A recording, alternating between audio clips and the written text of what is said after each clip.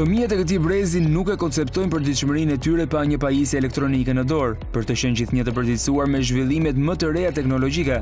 Disa duket madje se nuk pëlqejnë të merren as me sporte të cilat prindërit e tyre dikur i kishin si aktivitete kryesore dhe janë dedikuar tërësisht teknologjisë. ndërsa të tjerë përpiqen të integrojnë një ndeshje futbolli, sesion tenisi apo një lojë basketbolli edhe me teknologjinë. Por ka nga ata të cilët kanë zgjedhur të ndjekin kurse programimi, që i shërbejnë siç thonë mësuesit e tyre, ushtrimit të mendjes dhe përqendrimit më të mirë, por në fund, qëllimi duket se është ndërtimi i një produkti efikas dhe të vlefshëm për të gjithë.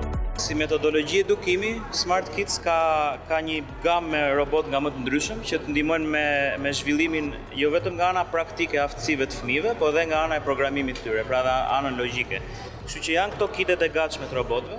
Këto kitet normalisht vijnë pjesë-pjesë dhe fëmijët ndjekin manualet për t'i ndërtuar këto dhe ata që janë dhe më të rritur, pastaj mbi 12 vjeç, mund të ndërtojnë dhe robot komplet nga e para, sepse ne kemi mundësitë dhe kapacitetet që të prodhojmë çdo pjesë të robotit dhe ato Pjesët pjesët që mbeten motor gjëra të tjera i porosisim nga interneti edhe kështu që fëmijët kanë mundësinë që ndërtojnë çdo gjë që mund të imagjinojnë.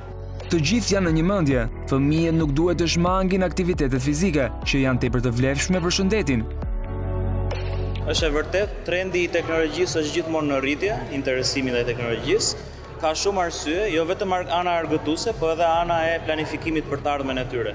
Duke qenë se çdo gjë po bëhet teknologjike, edhe prindrit dhe fëmijët e kuptojnë dhe e perceptojnë dhe e ndjejnë nevojën për t'u bërë sa më të zhdërvjellët, sa më të shkathët me teknologjinë sa më herët.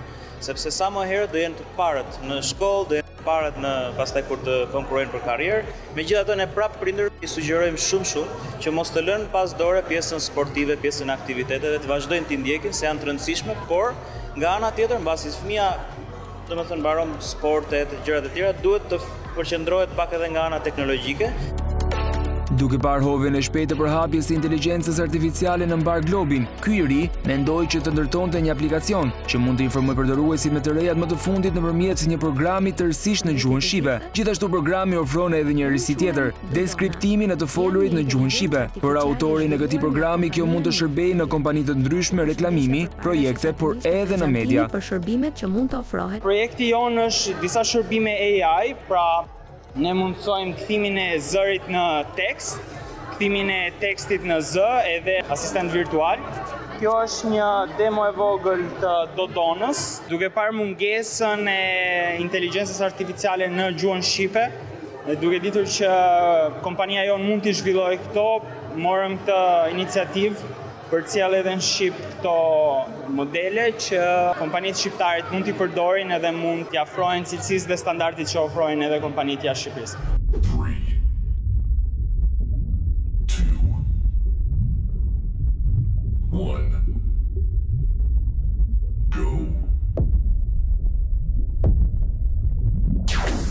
Megjithatë, lojërat zënë një vend të rëndësishëm në hapësirën e lirë të fëmijëve, por jo vetëm. Ky grup të rinjsh ka menduar të merrej me ndërtimin e një loje të përshtatshme për grupmoshën e tyre, në platformat online. Në këtë fazë ata janë në provat e fundit dhe shumë shpejt pritet starti i saj. Projektuesit shprehen optimistë se vepra e tyre do të pëlqehet tepër nga fëmijët dhe nuk ngurrojnë të tregojnë synimin dhe aspiratat për të ardhmen. Është studioja e parë që zhvillon video lojra në Shqipëri.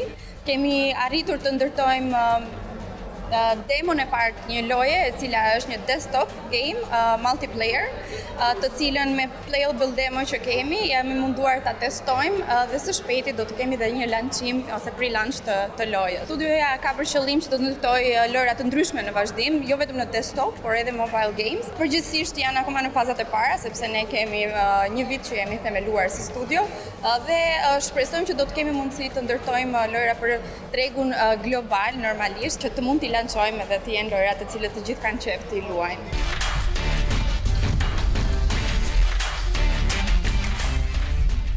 Qeveria shqiptare ka artikuluar sistematikisht është fokusuar te kurset kushtuar fëmijëve me synimin njohjen e programit kompjuterik, E ardhmja shihet në këtë drejtim. Ka shumë të rinj në Shqipëri e rajon që angazhohen me projektimin e programeve të ndryshme për tregun e huaj, e paguhen me mijëra euro në muaj. Dimensione që hapen nëpërmjet teknologjisë dhe bota virtuale që ofrohet, ka bërë që gjithnjë e më shumë të rinj të përqafojnë këtë trend.